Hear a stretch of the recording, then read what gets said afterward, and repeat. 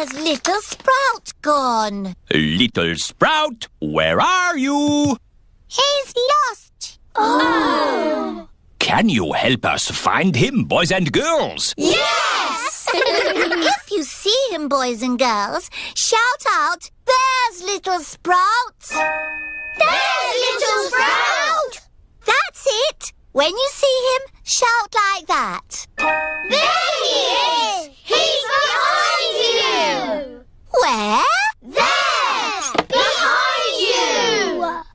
Can't see him. They're not very good at looking, are they? There you are, you cheeky little Sprout. I'm the magic fairy carrot. Look, children, I can fly. George is awake. Dinosaur. George, you naughty piggy. Go back to sleep. George is not sleepy. George! Nighttime is for sleeping, not playing. I can tell you a bedtime story. Once upon a time.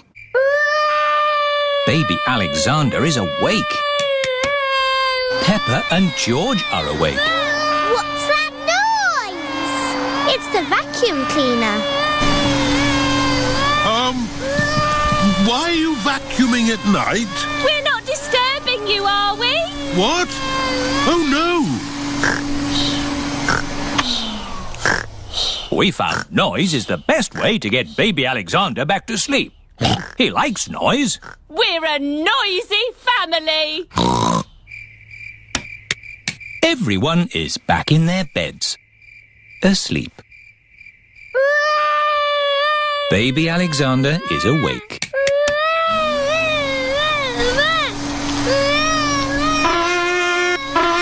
Why is Auntie Pig playing a trumpet? To get Alexander to sleep.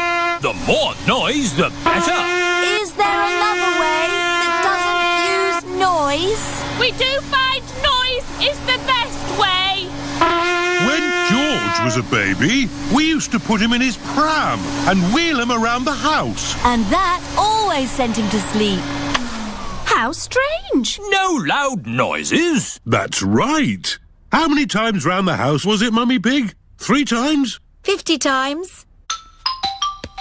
Surprise! For she's a jolly good fellow. For she's a jolly good fellow. For she's a jolly good fellow. And so say all of us. Last stop! Now you can all do your important work. Hang on. It's taken us so long to get here. It's home time. Oh, back we go then. But if we travel on Gertrude, it will take ages to get home. Hello, everyone. I've mended the big train. Excellent, Grandpa Pig. All change. Off we go. Stop!